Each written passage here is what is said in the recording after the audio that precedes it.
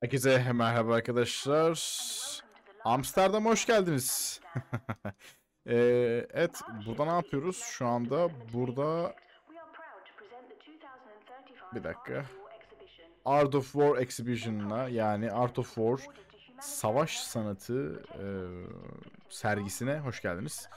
Şu anda e, bu daha önce bir duyurusunu yapmıştım yeni bir DLC gelecek falan diye. Onunla alakalı olarak gönderi yapanlar, post yapanların e, postlarının, gönderilerinin bulunduğu bir exhibition, bir sergiye hoş geldiniz. Şöyle tekrar geri gideceğim. Çünkü burada çok güzel fotoğraflar var. Şimdi e, şuraya ufaktan hani tek tek her fotoğrafı şey yapmayacağım. Tabii ki de açıklamaya girmeyeceğim. Ama böyle güzel fotoğrafları, güzel çizimleri, e, güzel resimlerin olduğu böyle bakıp tek tek bunları okuyabildiğiniz A Station, Lars bilmem ne, Amsterdam şeklinde e, kişiye ait, nerede çekildiğine dair, nasıl, e, hangi şartlar falan filan hepsinin anlatıldığı küçük böyle bir notlar yazılmış. İşte Air Cav diye yazmış, Hava e, Cavalry, işte Papa Bear Sapphire falan tarzında böyle güzel boyamaların olduğu, güzel çizimlerin, güzel tasarımların olduğu bir e, sergi burası.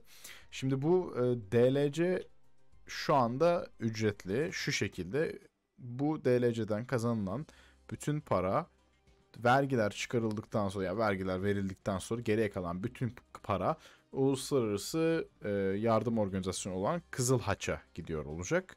E, öyle bir konseptler, öyle bir proje yapmışlar. Yani bu proje amaçlanmış ve e, Kızıl Haç'a e, buradan paralar e, bağışlanıyor olacak. Şimdi bu DLC'nin 3 farklı paketi var. Bu DLC'nin 3 farklı paketinin olmasının sebebi tamamen bağış aslında üzerinden yürüyen bir sistem yapılmış. E, bu da şu şöyle bir şey oluyor. E, siz 7 liralık olanında işte 10 küsür liralık olanında ya da e, 30 liralık olan pakette alabilirsiniz. E, olay tamamen sizin ne kadar Kızılaç'a bağış yapmak istediğinize bağlı. Yapmak istiyor musunuz, istemiyor musunuz?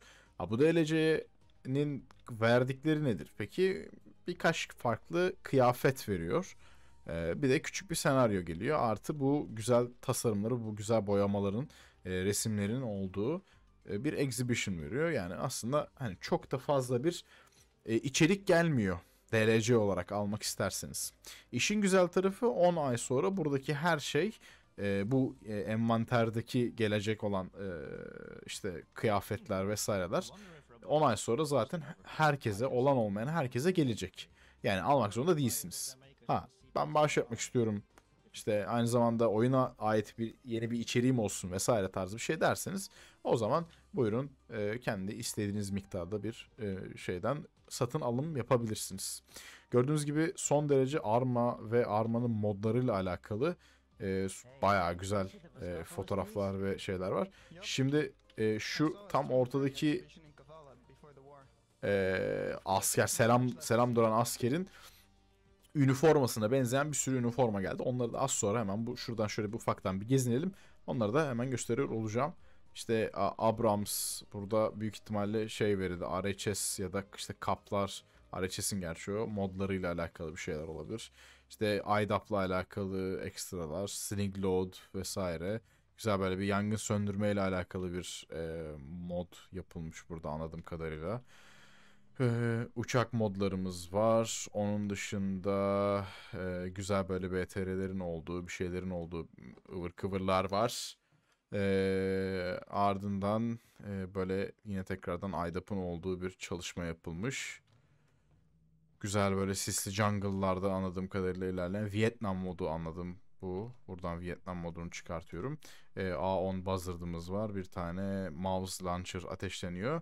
Ve burası delilik kemer neyse işte ne anlama geldiğini ben de bilmiyorum. Gel girdiğimiz zaman burada yine başka fotoğraflar ve çizimler şeklinde devam ediyor. Böyle küçük küçük maketler de koymuşlar. Küçük maketlerini ölçeklendirilmiş. Ee, işte burada başka neyimiz var? Şöyle bakalım. Should humans still be in the loop? Yani insanlar halen de şeyin içinde olmalılar mı? Ee, halkanın içerisinde olmalılar mı? E, hani savaş sacrifice olmadan bir anlamı var mı savaşmanın e, şeklinde bir yazı yazılmış oraya. Yine bir başka UAV şeklinde, e, drone şeklinde. Güzel tasarım. Mesela şu neymiş?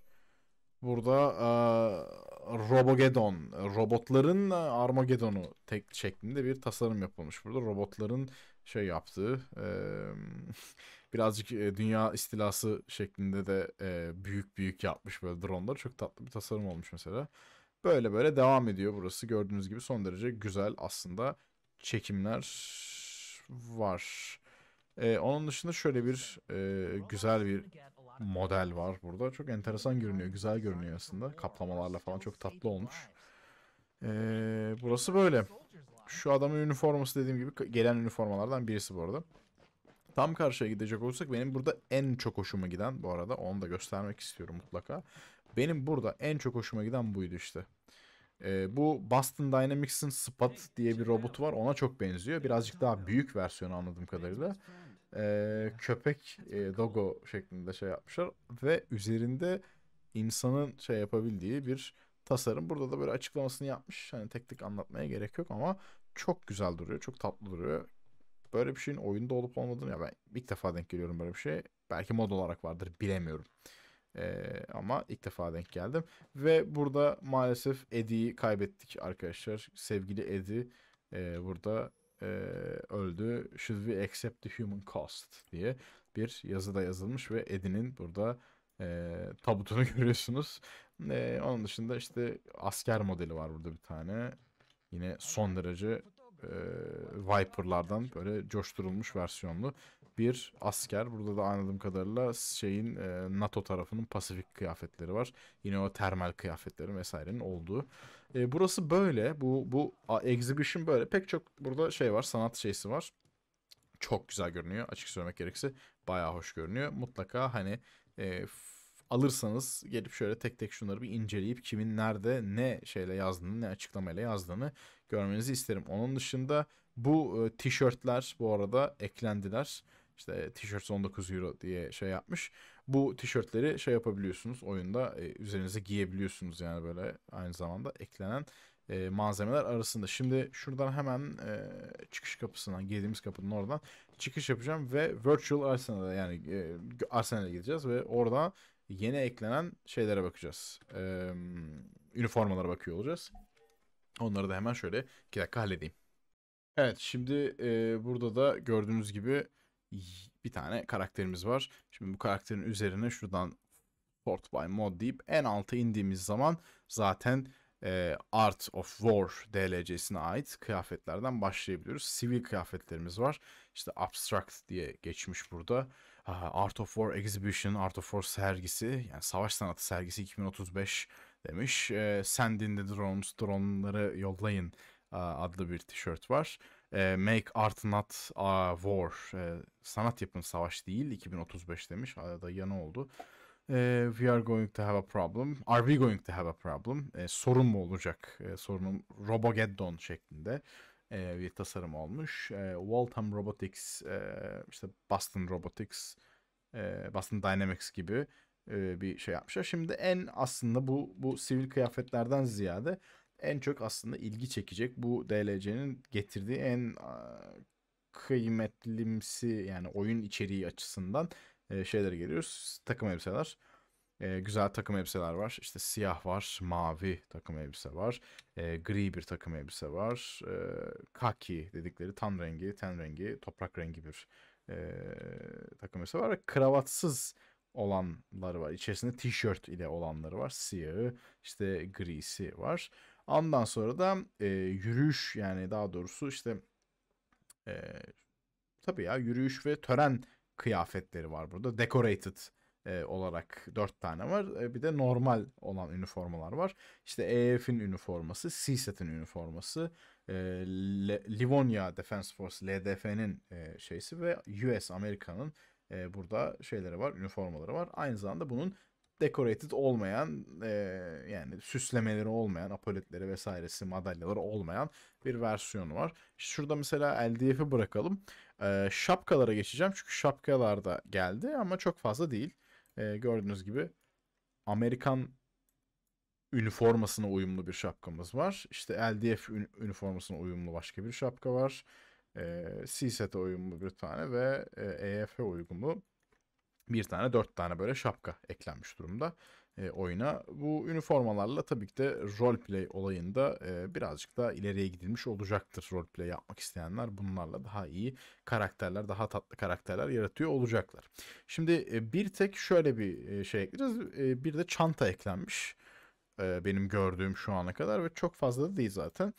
Şöyle bir everyday backpack yani her gün taşınabilecek sırt çantası. Çok basit daha doğrusu okul çantası boyutlarında bir sırt çantası eklenmiş. Bunun e, siyahı kullanılabilir. E, hani Astra'ların çok kullanılacağını sanmıyorum. Şu siyah renk kullanılabilir. Aydap için bir tane gelmiş. Spor versiyonları var. Yeşili, mavisi, kırmızı şeklinde böyle birkaç tane küçük çantanın da eklendiği. Başka hiçbir şey yok. Ne silah var, ne işte launcher var, ne yelek var. Hiçbir şey yok. Hepsine baktım. Sort by mod deyip en aşağılara indim. E, konuyla alakalı başka şeyler eklememişler maalesef. E, olay bu. Bunun bu şeyle gelenler bunlar. Araç olarak da herhangi farklı bir şey yok. Çanta olarak da dediğim gibi yeni gelen e, bir şey maalesef yok. E, kıyafet olarak da zaten böyle bir 10 tane kıyafet anca var. E, durum bu. E, umarım böyle bu konuyla alakalı olan e, detaylı video hoşunuza gitmiştir. Bir sonraki bölümde şu geliyor olacak. Bir sonraki bölümde oyunun küçük gelen senaryosunu oynuyor olacağız. Minik senaryo oynuyor olacağız. O senaryoda çok aslında uzun bir senaryo değil. Güzel bir senaryo. Tatlış, kısa. e, böyle hemen fıt fıt çerez niyetinde bir senaryo. Onu da bir sonraki bölümde oynuyor olacağız. Onun için de beklemede kalın diyorum. E, teşekkür ediyorum izlediğiniz için. Bir sonraki bölümde görüşmek dileğiyle diyorum. Kendinize çok çok iyi bakın. Hoşçakalın.